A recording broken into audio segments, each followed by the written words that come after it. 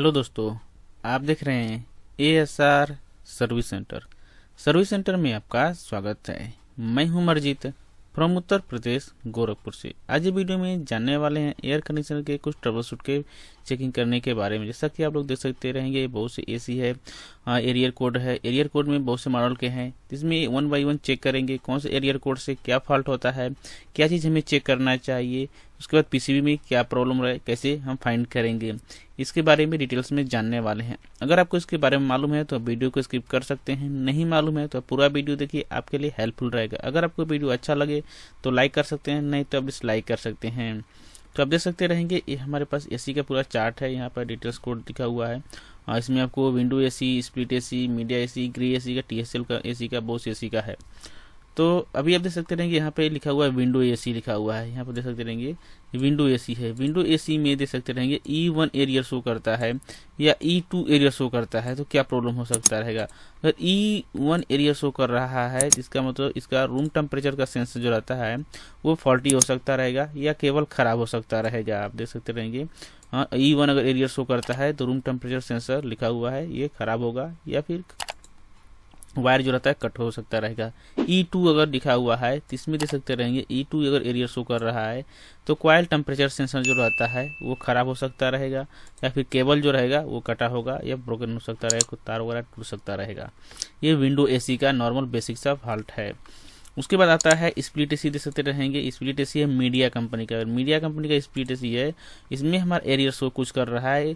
Green light जो रहता है, इसमें ग्रीन एलईडी जो रहता है blink along with operation light यानी कि एक लाइट जो रहता है उसका ऑपरेटिंग का लाइट जो है ब्लिंक कर रहा है ग्रीन कलर का, उसमें कंडीशन में देख सकते रहेंगे। लिखा हुआ है क्वाइल टेम्परेचर सेंसर फॉल्टी या केबल फॉल्टी हो सकता रहेगा। यानी कि इस मीडिया का स्पीड ऐसी है, इसमें ग्रीन लाइट का जो ऑपरेशन का लाइट रहता है कंटिन्यू ब्लिंक कर रहा है तो इस तरह से प्रॉब्लम हो सकता रहेगा सेंसर का। उसके बाद आता है green LED light blink along देख सकते हैं, लिखा हुआ है यहाँ पर। दूसरा नीचे देखते रहेंगे। लिखा हुआ है, green LED blink along with operation LED.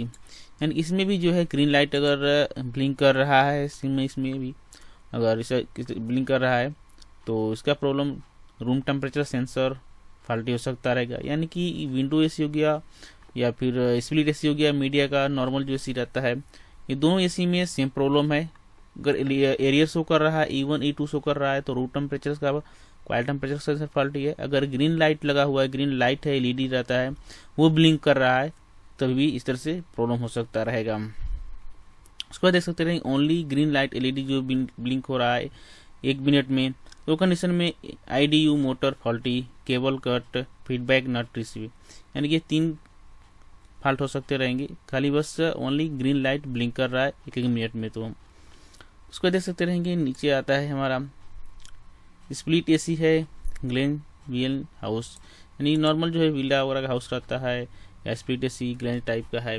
उसमें भी देख सकते रहेंगे एफ़ एट शो कर रहा है। एफ़ एट हो गया एफ़ सिक्स हो गया एफ़ सेवन एरियर शो कर रहा है तो क्या प्रॉब्लम हो सकता रहेगा? इसमें भी देख सकते रहेंगे सेम प्रॉब्लम है F eight F six F seven में क्वाइल टेम्परेचर सेंसर का या इंडोर का ब्लोअर मोटर रहता है, उसका प्रॉब्लम हो सकता रहेगा, या रूम टेम्परेचर सेंसर फॉल्टी हो सकता रहेगा। उसी तरह से आता है, देख सकते रहेंगे ग्रीन एसी का है स्प्लिट एसी ग्री कंपनी का एसी है। तो ग्री कंपनी का एसी है इसमें भी देख सकते रहेंगे H six F two F one C five और इस तरह से एरियर शो कर रहा है। तो एफ़ सिक्स है, या सॉरी एच सिक्स है तो इसका मतलब ब्लोअर मोटर जो रहता है, उसका एरियर हो सकता रहेगा। एफ़ टू है तो क्वाल सेंसर हो सकता रहेगा। एफ़ वन है तो टेम्परेचर सेंसर हो सकता रहेगा, या जंपरी कनेक्शन वगैरह जो रहता है, उसका फॉल्ट हो सकता रहेगा। टीसीएल कंपनी का है तो इसमें भी देख सकते रहेंगे सेम इसमें प्रॉब्लम दिखा रहा है। इसमें टीसीएल कंपनी रहेगा, इसमें ई e सिक्स आएगा ई e टू आएगा और ई e वन आएगा। इसमें ब्लोअर मोटर के लिए क्वाइल सेंसर के लिए टेम्परेचर सेंसर के लिए। ई वन ई टू जो रहता है क्वाइल टेम्परेचर और sensor room temperature sensor lump sum same ही आपको मिल जा रहा है। उसी पास देख सकते हैं इसमें लाइट ब्लिंकिंग कर रहा है। देख सकते हैं बहुत इसमें अगर इसमें अगर डिजिटल नहीं है, सिर्फ़ एलईडी लाइट लगा हुआ है। तो कंडीशन में लाइट जो है ब्लिंक करता है। फ्लशिंग फॉर रेड लाइट यानी कि रेड लाइट में रहता है फ्लश हो रहा है ब्लिंक हो रहा है। वन टाइम वन सेकेंड यानी एक सेकेंड में एक एक लेडी जो रहता है, एक टाइम ब्लिंक होता है। तो फॉल्टी इसका देखते हैं क्वाइल टेम्परेचर सेंसर रहता है क्वाइल फॉल्टी क्वाइल्स यानी इसका कॉयल सेंसर रहेगा, वो फॉल्टी हो सकता रहेगा, या क्वाइल जो यानी कि ऑपरेटर रहता है, वो भी फॉल्टी हो सकता रहेगा। एक टाइम में, तीन सेकेंड में एक टाइम ब्लिंक होता है तो देख सकते रहेंगे cold air protection normal function जो रहता है, उसका प्रॉब्लम हो सकता रहेगा। उसी तरह से आप इसको स्टॉप करके यहाँ पर देख सकते रहेंगे क्या क्या प्रॉब्लम है, लिखा हुआ है। उसी तरह देख सकते रहेंगे यहाँ पर for calling mounted air conditioner यानी कि जो स्प्लिट एसी रहता है माउंटेन टाइप रहता है, ये दो टन का स्प्लिट एसी है ओल्ड मॉडल में। इसमें भी देख सकते रहेंगे फ्लशिंग हो रहा है टू टाइम फोर सेकेंड में, इसमें क्या प्रॉब्लम है, या थ्री टाइम फाइव सेकेंड में हो रहा है। इसमें क्या प्रॉब्लम इसको भी स्टॉप करके एच डी क्वालिटी में करके अच्छी तरह से देख सकते हैं, समझ सकते रहेंगे।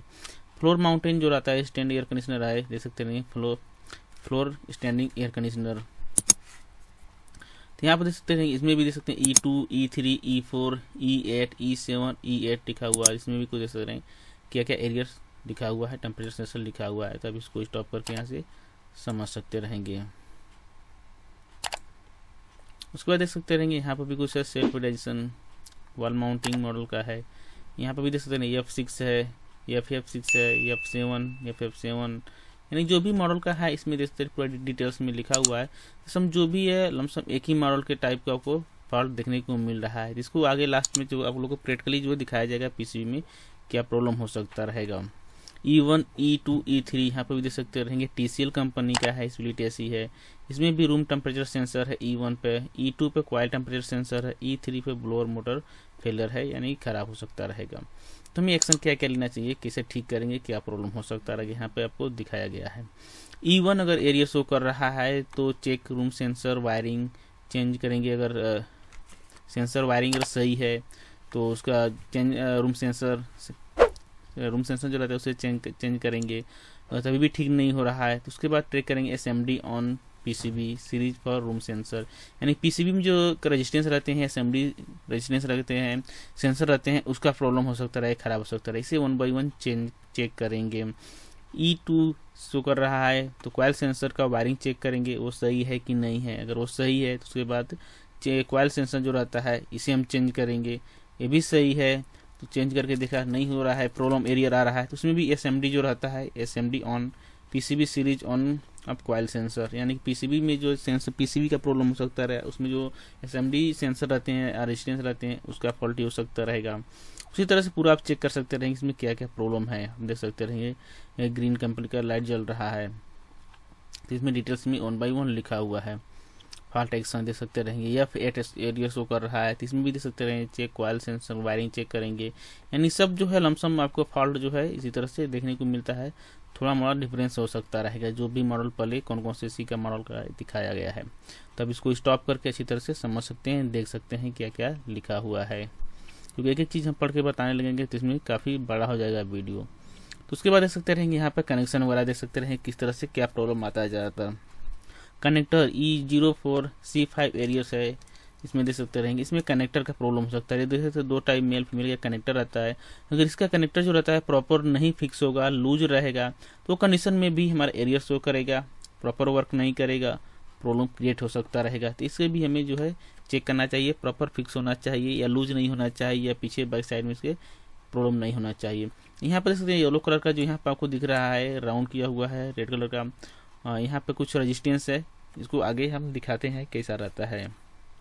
ऐसा कनेक्शन जैसे विंडो एसी का कंट्रोल पीसीबी बोर्ड है यहाँ पे। जो असेंबली दिखा रहा था असेंबली का रेजिस्टेंस है। सेंसर क्वाइल सेंसर खराब होगा और सही रहेगा, फिर भी एरिया को रहा, कर रहा है। तो उसमें देख सकते रहेंगे, यहाँ पे लिखा हुआ है M series room sensor for signal यानी कि यहाँ से जो देख सकते रहेंगे रूम सेंसर के लिए सिग्नल यहाँ से देता है। ये रजिस्टेंस लगा हुआ है सिर ये भी खराब रहेगा तो प्रॉब्लम क्रिएट होता है एस एम डी टाइप का है ये।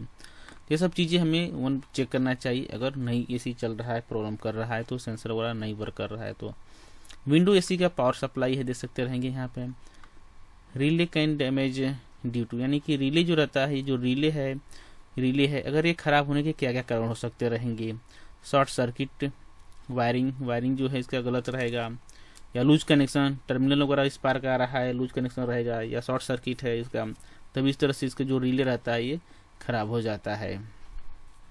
यहाँ पर देखते येलो कलर का जो लगा हुआ है, ये वोल्टेज का ओवरलोड प्रोटेक्टर लगा हुआ है। यानी वोल्टेज में ज़्यादा अगर वोल्टेज आता है तो ये रजिस्टेंस जो रहता है, यहाँ से उड़ जाता है, ये खराब हो जाता है या फट जाता है।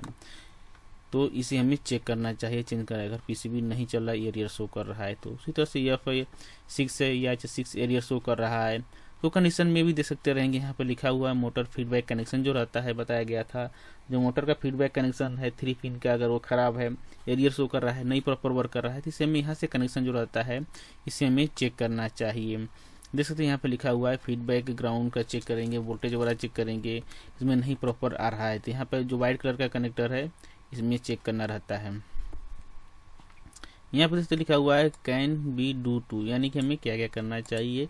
मोटर वायर को कट करेंगे, फीडबैक वायर कट हो सकता रहेगा, मोटर जाम हो सकता रहेगा, या फीडबैक सिग्नल नॉट रिसीव यानी फीडबैक जो रहता है इंडोर से आउटडोर जो कम्युनिकेशन का वायर आता है, वो हमारा रिसीव नहीं हो रहा है, नहीं आ रहा है पावर या फिर ट्रैक बर्न ऑन पीसीबी यानी पीसीबी वगैरह खराब हो सकता रहेगा पॉलिटी कनेक्टर वगैरह खराब हो सकता रहे, उसका फीडबैक जो रहता है खराब हो सकता रहेगा. यानी पीसीबी में जो भी कनेक्टर्स वगैरह रहता है मेन बेसिक चीज़ें यहाँ से ही फॉल्ट होते हैं, ये सब चीज़ें हमें चेक कर लेना चाहिए. तो आशा करता हूँ आपको कुछ ज़रूर जानने सीखने को मिला है। अगर आपको वीडियो अच्छा लगा है तो लाइक कर सकते हैं, नहीं तो डिसलाइक कर सकते हैं। और इस तरह से हमारा थिरकली प्रैक्टिकली देखने के लिए हमसे जुड़ सकते हैं। हमारे चैनल को सब्सक्राइब करें, सब्सक्राइब करने का जो बेल आता है, उसको ऑन कर दें। आल नोटिफिकेशन जो आता है, उसको ऑन कर दें, जिससे कोई सा भी इस तरह से थिरकली या प्रैक्टिकली वीडियो बनाए तो आपके पास भेज सके। आप ये वीडियो नए टेंशन नए लोग पास शेयर करें। जो लोग ऐसी फ़ील्ड में आना चाहते हैं, ये सब काम जानना चाहते हैं, सीखना चाहते हैं, आप भी नए लोग का हेल्प ज़रूर करें। आज आपका दिन शुभ हो। Thank you for watching